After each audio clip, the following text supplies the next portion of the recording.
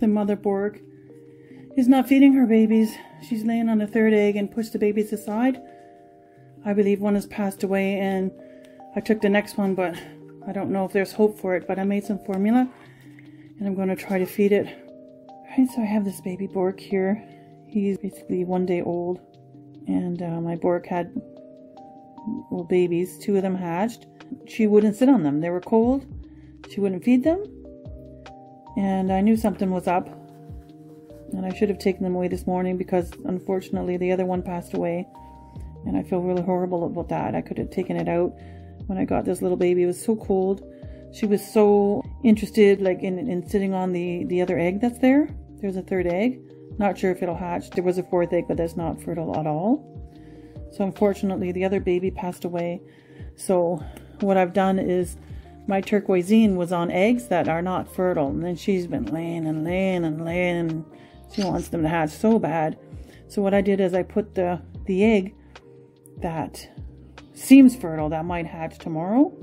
I put that one in my turquoisine's nest. And she laid on it because maybe she will feed the baby if it hatches.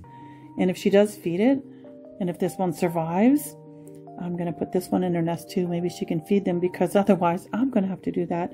And it's only two days old and it's a lot of work. I'm using a little pipette, just putting like a tiny drop at the side of the beak. Being very careful. This baby was so cold and didn't look very well. So I'm putting it on my hands and warming it up. And I have a, a container with a heating pad on the bottom and another container and a thermometer inside. I'll show you later. And trying to keep the baby warm. So I'm hoping this is to work. I got some food in the baby. Let's have a look. I hope it's to survive because I just feel really horrible about it if it does die. But um, yeah, there's some food there in the crop. See a little bit? There was nothing in there when I took it out of the nest box. Nothing at all. The other one that passed away had no food in there at all. And that one was born like two days ago. So for two days it didn't have any food.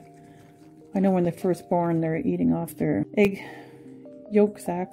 But um, I, every time I looked in the nest she wasn't laying on them at all and they were cold.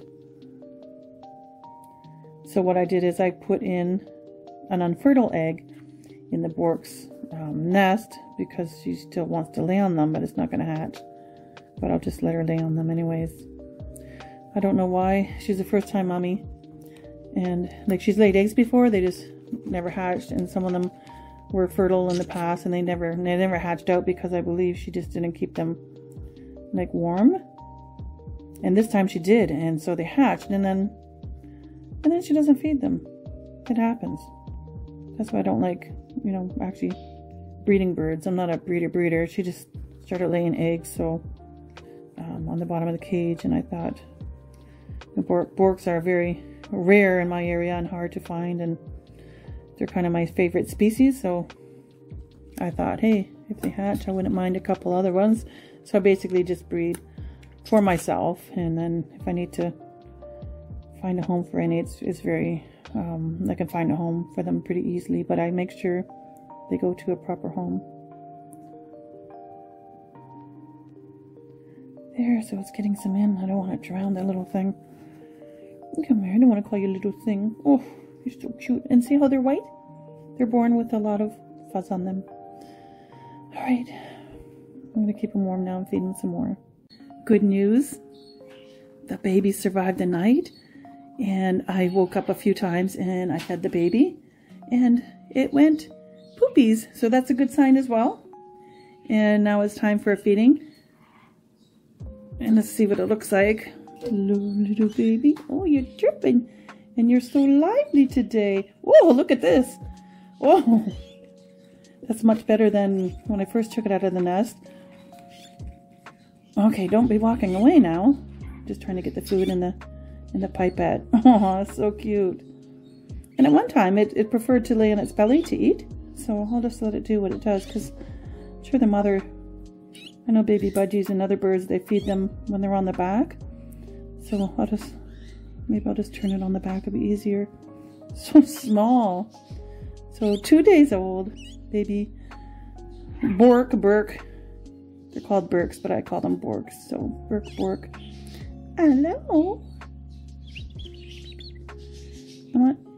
Well, earlier it did open its mouth. Oh, there it goes. Oh, can you see the, the beak opening there? Taking in some fluid. Now, for the first two days, the formula has to be very thin, very watery. And this is the second day.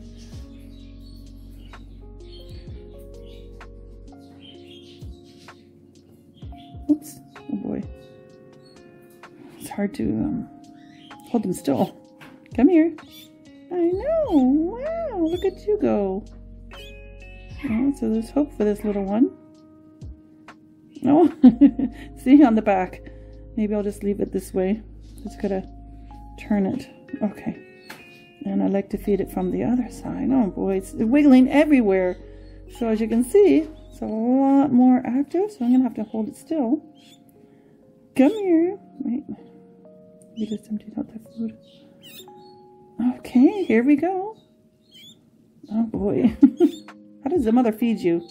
You don't hold still. Hmm? There we go. the mother probably just grabs you and feeds you, right? So two days old, so this baby probably didn't get the, the crop milk from the mother. So sometimes that like stunts the baby or you know, the baby might not make it. But I did I have raised one and two day old babies before and you know, they made it and they were fine. There we go. So I'm hoping to put this baby, oh. Okay, okay, you're all over the place. This baby in with my turquoisine so she can feed the baby because the other one, the baby bork did hatch under my turquoisine. So there's the baby bork that hatched this morning that my turquoisine parakeet is going to raise, hopefully. It's so cute. I've seen her like preening it and putting it under her so she's actually laying on it, so that's a good thing. And the next step would be to make sure that she's going to feed it. Oh, it's a lively little one. Aww. Hopefully my turquoisine parakeet can, wow, can raise these babies because it's really hard to do. And, you know, I won't be able to go anywhere or leave the babies, you know, very long alone. They have to be fed when they're this small every two to three hours for about, I'd say a week. And then you can stretch the hours. I like to feed them whenever the crop is empty or check on them every two, three hours anyways. And just uh, top up their food. Because if you watch the parent birds when they feed the babies, they are constantly feeding them. Like they, they always just feed them a little bit at a time. Anyways, so hopefully this baby's going to be okay and make it. And hopefully he can go get taken care of by my turquoisine. She can raise these babies as her own. This is day three and the baby is still well alive and he's eating. There he is. Okay, you ready to eat? Yep, look at him go. He's very lively compared to the first day that I took him from the nest. Uh. Okay, Malibu's flying around. Hope he doesn't come over here. He might be curious. Okay, Malibu, please. you can't see Malibu, but he's right behind me. Okay, there. His wings just flopped everything away. Okay, so I'm going to put him on his back. They usually like to like that. Malibu, you probably want to feed the little baby, huh? No, Malibu. Malibu, go away. There goes Malibu. Yeah, I should have put him away first. Alright. Okay, yeah, that's not a good idea. Alright, okay, let's try this again. There we go. There we go. Well, stay still, buddy. well, he's getting some in there.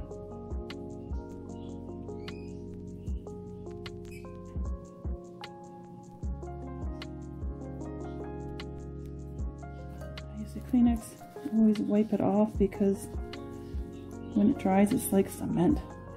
There, look at the food. Come here. See the food in the crop? It doesn't take long to feed the little ones. They fill up really fast.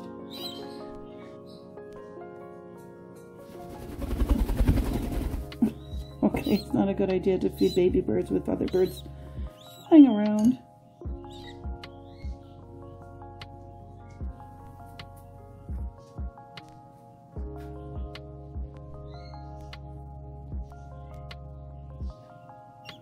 Malibu's watching from my shoulder. If you could see, it's funny.